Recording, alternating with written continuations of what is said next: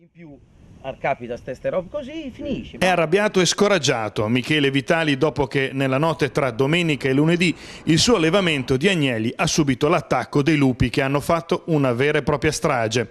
Come ogni mattina, intorno alle 6, lui e la madre iniziano a dar da mangiare agli animali, ma appena arrivati nei pressi della stalla hanno fatto la mara scoperta. Io per carità, il lupo, gli animali tutti sanno da, da, dal topo a quel che è, per carità, però che al lupo va bene a fare un lavoro così, che è la nostra economia, no, siamo nell'azienda agricola di Michele Vitali a Pozzuolo, qui i lupi l'altra mattina hanno attaccato il suo recinto dove teneva eh, i vitelli e gli agnelli e quindi insomma c'è stata una strage praticamente, grande scoramento proprio da parte dell'allevatore per questo terzo attacco in poco meno di un anno e mezzo.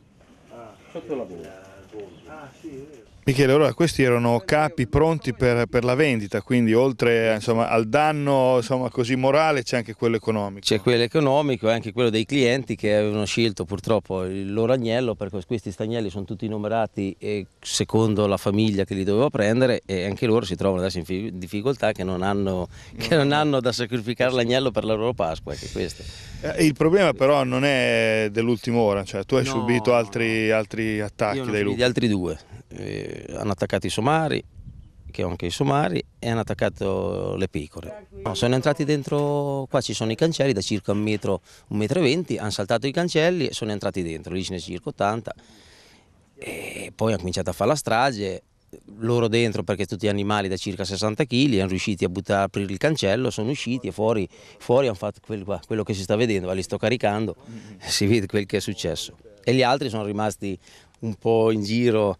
mezzi barcollanti.